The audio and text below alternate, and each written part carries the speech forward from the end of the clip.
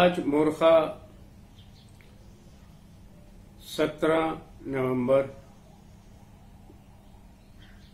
2020 Covid 19 ने पूरे मुल्क, पूरी दुनिया को अपनी लपेट में ले रखा है। हालात हर जगह अपने असरात दिखा रहे हैं और लोगों के मसाइल में इजाफा कर रहे हैं। तो मेरे ख्याल में पाकिस्तानियों को चाहिए कि इस वक्त एक ही मुल्क है, तुर्की, जहाँ का वीज़ा आपको आसानी से मिल सकता है और आप आसानी से जा सकते हैं और बिज़नेस भी कर सकते हैं। आने वाले दिनों में पाकिस्तान के हालात मुश्किलात में रहेंगे, क्योंकि खत्े के हालात बदल रहे हैं। और दूसरी बात यह अरब ममालिक से भी जो हमारे पाकिस्तानी भाई हैं, उनके लिए मसाइल के में इजाफा होगा। उनके मसाइल में बहुत ज़्यादा इजाफा होगा और हुकूमत पाकिस्तान के वसाइल में कमी होगी और इससे शायद अनएम्प्लॉयमेंट हो या थोड़ी बहुत उसमें इजाफा हो।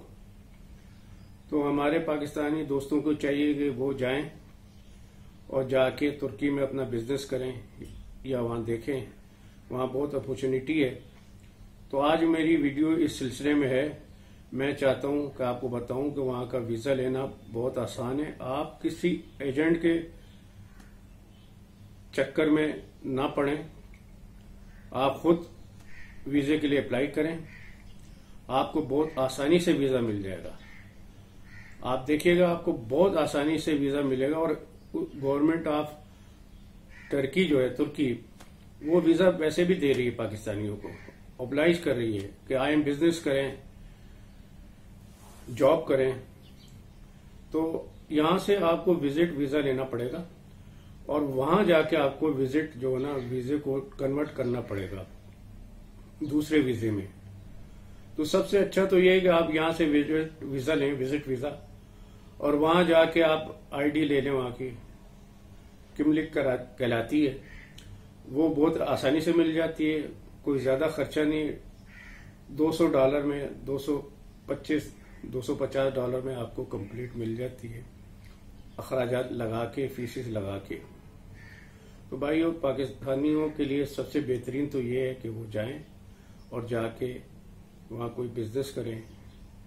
वहाँ गारमेंट के यूनिट लगे हुए छोटे छोटे बहुत सारे पाकिस्तानियों ने लगाए भी हैं और वो अपनी मैन्युफैक्चरिंग कर रहे हैं और बहुत सारे पाकिस्तानी वहाँ जॉब कर रहे हैं और कारोबार भी कर रहे हैं।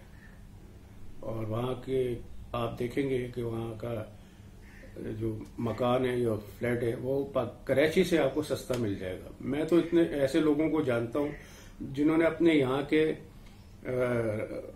मकान अपने घर रेंट पे दिए हुए, उसी रेंट जो यहाँ से मिलता है, उस रेंट से उन्होंने वहाँ पे मकान लिए हुए और बहुत आसानी से वक्त गुजार रहे हैं अच्छा गुजार रहे हैं। जो रेंट पाकिस्तान से जा रहा है, उसी रेंट में वो रेंट भी वहाँ का दे रहे हैं, बिजली का बिल भी वही से, वही दे रहे यूटिलिटीज भी वही, उसी पैसों में दे रहे हैं और खा भी रहे हैं। तो कहने का मतलब ये है कि वहाँ अभी आपको मकानात भी सस्ते हैं। रेंट के लिए, और वैसे जो लोग परचेज करना चाहें, उनके लिए भी बेहतर है कि आने वाले वक्तों में वो ज़्यादा महँगे होंगे। तो मैं चाहता हूँ कि आप लोगों से ये गुफ्तगु करूँ कि जो एजेंट है, उनसे आप बचें। आसानी से आप, इस वक्त टिकट भी सस्ता है। आप एम्बेसी जाएँ, या जहरी जाएँ, और जहरी में, कराची में है, ये इस्लामाबाद में भी है, लाहौर में भी है, जो उनके एथोराइज डीलर है, जो आपकी एप्लीकेशन लेंगे, वहाँ से फॉर्म लें फॉर्म लें, वो फॉर्म को फिलअप करें, या वहाँ किसी से करवा लें। वो आपसे सिर्फ़ पाँच सौ रुपये लेते हैं, जिसमें आपको वो पूरा कंप्लीट करके देते हैं इसकी फ़ीस जो है, तुर्की की वीजे की सत्रह हज़ार चार सौ रुपये सत्रह हज़ार चार सौ रुपये आपने खर्च करने और इंश्योरेंस लेनी ट्रैवलिंग इंश्योरेंस ट्रैवलिंग इंश्योरेंस के बाद आप एक टिकट लेंगे और बुकिंग क्या कहते होटल बुकिंग चाहिए आपको। या आपको कोई भी एजेंट प्रोवाइड कर देगा, वरना वो जेरी वाले भी आपको देंगे, उसके चार्जेस लेंगे थोड़े बहुत। आप ये कंप्लीट करेंगे। इसके साथ आपको एक बैंक अकाउंट चाहिए, जिसमें ढाई लाख के करीब पैसे होने चाहिए, जो आप बता सके कि आपके जाएँगे खर्चा। और अगर आपके पास बैंक अकाउंट नहीं है तो आप जिस कंपनी में काम करते हैं, उनका अथॉरिटी लेटर कि आप वहाँ मुलाजिम मत करते हैं।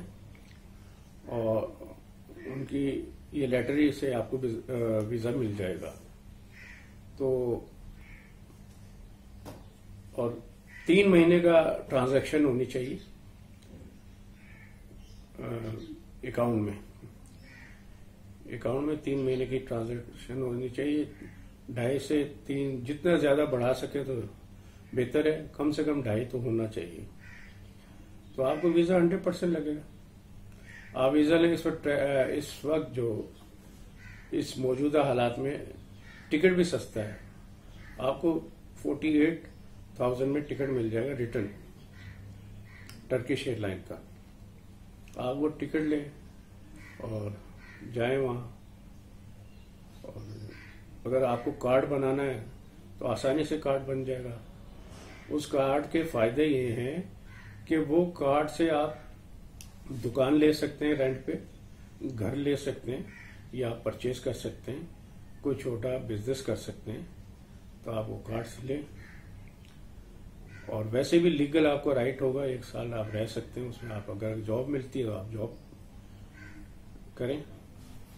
तो ये है इस वक्त। और मेरी गुजारिश है कि आप एजेंट के चक्कर में न पड़े तो आप तकरीबन अस्सी नब्बे लाख, अस्सी नब्बे हज़ार में सॉरी अस्सी नब्बे हज़ार में आप तुर्की पहुँच सकते हैं और तुर्की में आपको गेस्ट हाउस मिल जाएँगे जो सस्ते होते हैं। वो ले लें। या यहीं से बंदोबस्त करके जाएँ, आपको यहाँ से रूम भी मिल जाएगा। आप नेट से सर्च करें तो आप अपने लिए रूम लें। या कोई एक हफ़्ते के लिए गेस्ट हाउस ले लें और रिसर्च करें। आपको बहुत फवाइद मिलेंगे वहाँ। और इस वक्त पाकिस्तानियों की अच्छी खासी तादाद वहाँ पे है। और इंशाल्लाह आपको मजीद मालूम देंगे। हमारी आने वाली वीडियो में इससे बेहतर मालूम मिलेगी आपको तुर्की के मुतालिक, या आपको जिस कंट्री के मुतालिक तुर्की हुआ आजरबाईजान हुआ, या ताजिस्तान हुआ। आपको कुछ मालूम चाहिए तो आप नीचे कमेंट्स पे लिखें, मैं इनशाला आपको मालूम गाइड करूँगा। और इनशाला फिर नेक्स्ट वीडियो में आपसे दोबारा मुलाकात होगी। तो शुक्रिया।